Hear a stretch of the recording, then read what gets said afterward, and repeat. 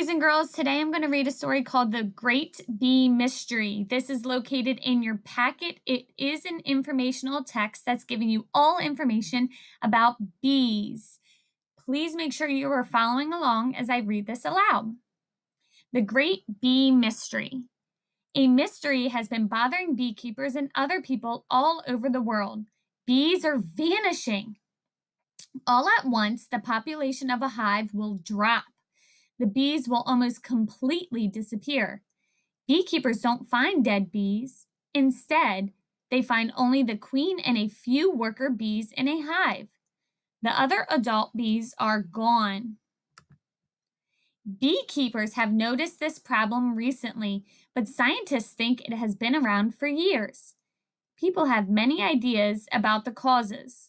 Some blame poisons used by farmers to kill weeds.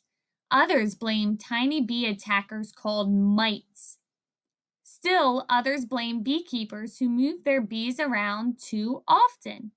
Scientists still don't know for sure what causes the disappearances.